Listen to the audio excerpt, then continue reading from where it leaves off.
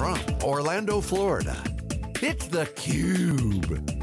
Covering SAP Sapphire Now 2018. Brought to you by NetApp. Welcome to theCUBE, I'm Lisa Martin with Keith Townsend. We are in Orlando at SAP Sapphire Now 2018. We're in the NetApp booth, and we are excited to welcome to theCUBE Ray Russ, from Fujitsu, the Senior Director of SAP Solutions. Ray, this is your 21st Sapphire. That's correct. This event is enormous. There's yep.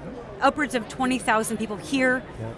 in Orlando, but what Bill McDermott, their CEO, said in his keynote is they're expecting about a million people to engage.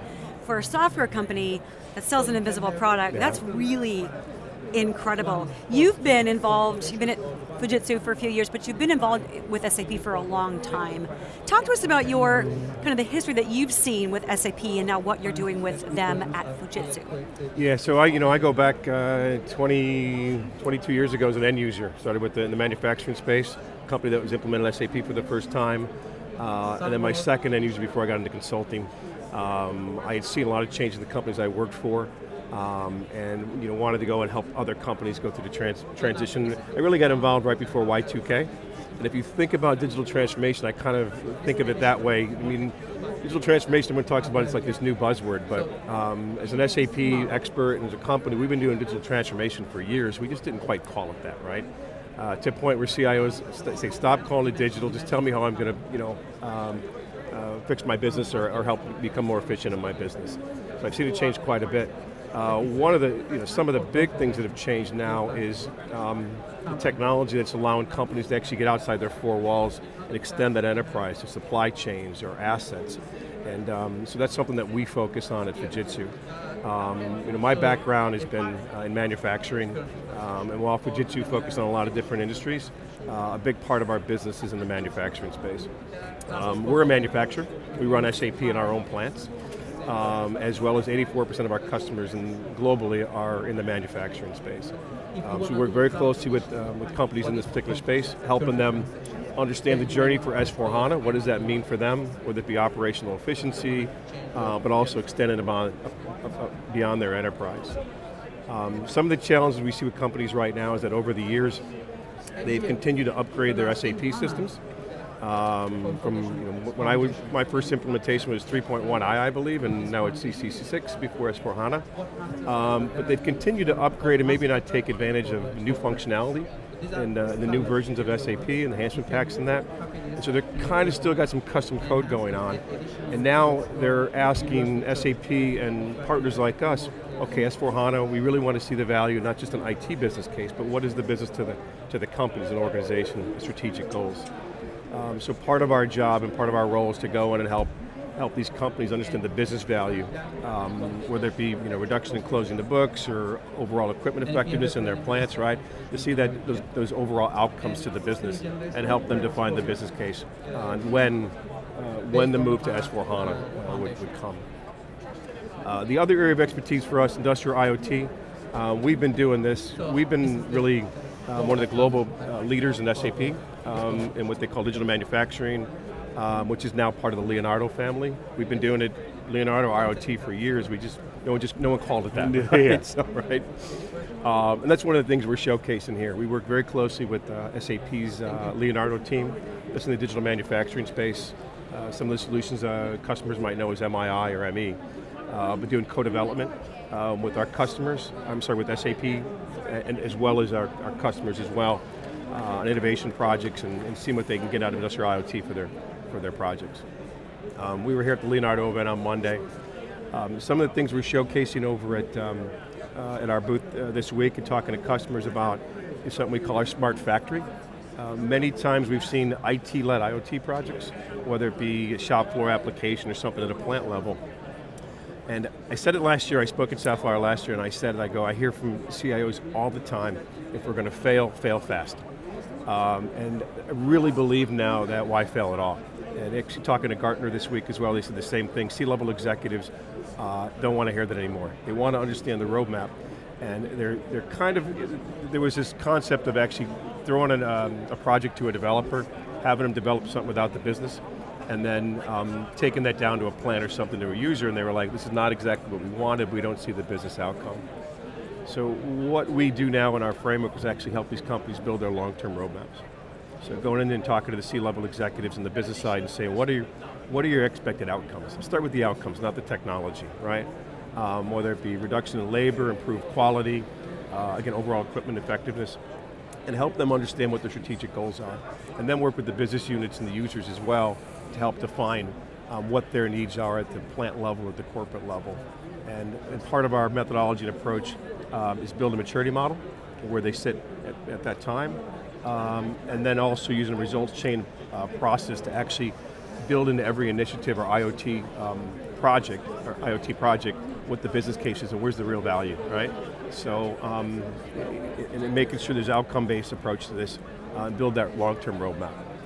So, yeah. yesterday on stage, Bill McDermott talked about the value of augmenting people mm-hmm. te- and with technology, but the importance of process. Mm-hmm. So Fujitsu, obviously big manufacturing yeah. operations outside of servers and IT equipment.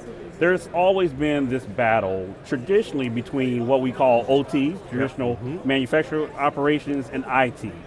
Obviously, as part of this transformation, organizations need to go through CIOs, plant managers, that traditional line of business have to have this new way of working together. Yeah. Can you shed light on how that's changed with uh, within Fujitsu and yeah. then with customers? You hit it right on the right on the head. And um, IT/OT integration has been a challenge for a lot of companies over the years.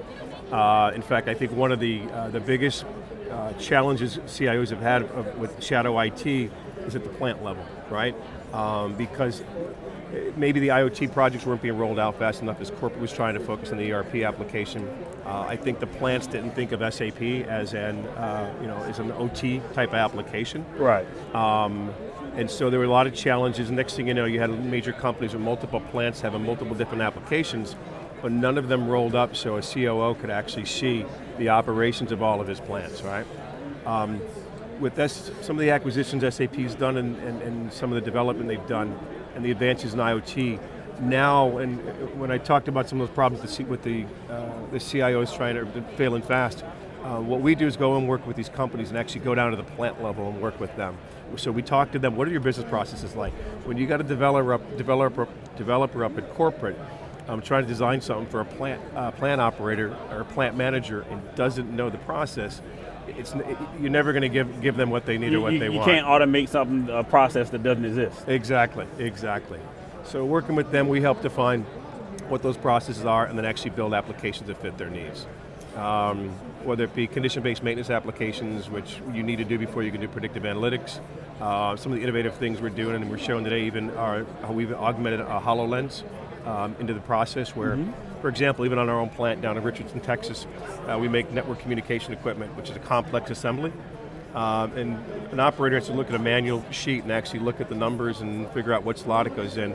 With the HoloLens augmented reality, actually it does an overlay, and he pick up a part and plug it right in, it tells him, and we've been able to reduce um, cycle time on that assembly by 42%.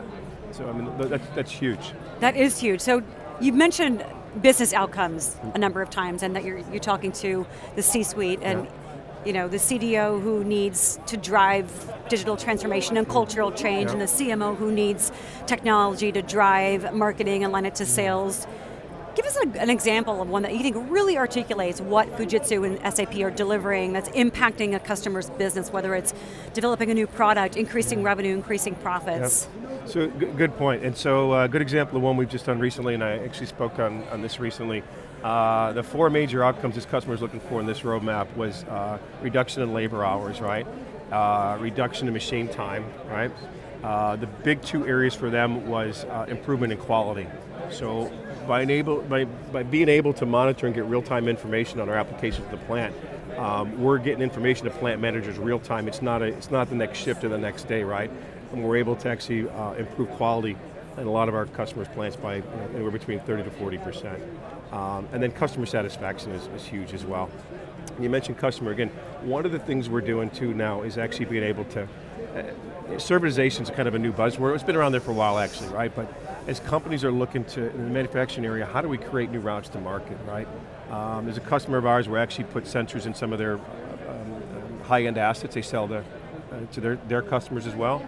We're able to get that information now and actually help them monitor their equipment. And we can actually help them then reduce their customers' maintenance costs and so forth. And that's adding value to not only our customer, but our customer's customer. Those are some of the big things we're seeing in, in manufacturing right now.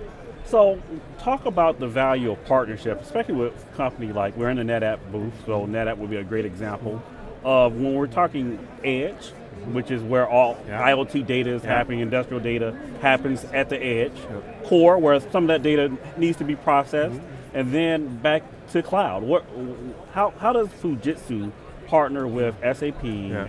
NetApp, the customer to bring value from all three of those endpoints. You got it. And, and you know, it's, it's, interesting over the years. Somebody asked me the other day if I ever worked. I've never worked for SAP, but I've been in the ecosystem forever. I get accused if you cut me, I'd bleed blue. uh, and I found over the years is that I think every company's realizing they can't do it all, right? And you got to do what you do well, right? Um, and so, I mean, SAP realizes that we work, and NetApp's uh, been a strong partner of ours for a long time, right? So, you know, and I talk about our smart factory framework. One of the things we try to do when we go in is actually look at the business outcomes and then the domain areas, line of business we're going to focus on and that. But then we look at the technology. And if it's technology, it's not our core competency, we want to make sure we bring in the right partner, right? NetApp's one of those partners, SAP's one of those partners. And we have a group of partners that we bring in to make sure we're bringing uh, the, the best uh, solution to our customer, right? If we can't do it well, then we're going to make sure we work with a partner uh, that has strength in that area. So. And they expect that choice, that you know flexibility, yeah. right? That yeah. word is used. Flexibility, agility is at every. You can't go to a trade show without hearing those at right. least like 50 times each. But yeah. but it's really the customers that's that are driving that and their needs. We've heard a lot of that in the last you know day and a half that we've been yeah. here, a lot of that value articulated through the customer, as well as the importance, and it sounds like SAP does this well, of listening to yeah. the customer. Mm-hmm. What are what are you needing that we're not doing? Who should we be partnering with to be able to yeah. deliver the solution that you need? To your point, that's going to drive these business outcomes because that's where the conversation this day and age needs to be. Yep, exactly. Yep. Yep. Yep. yep. Well, Russ, Ray, Ray Russ, thank you so much for joining us and sharing what you're doing with Fujitsu. Fujitsu and SAP been partners for 40 years. You've got 8,000 plus customers and counting. Yeah. I can imagine that uh, you're going to carry the momentum forward that you're feeling here at Sapphire into yeah. your 22nd Sapphire yeah. next year. Absolutely, I appreciate it. Have a great show, guys. Thank you very much. Thank you so Thanks much. for your time. We want to thank you for watching theCUBE. We are at SAP Sapphire now in the NetApp booth in Orlando. Lisa Martin, Keith Townsend, thanks for watching.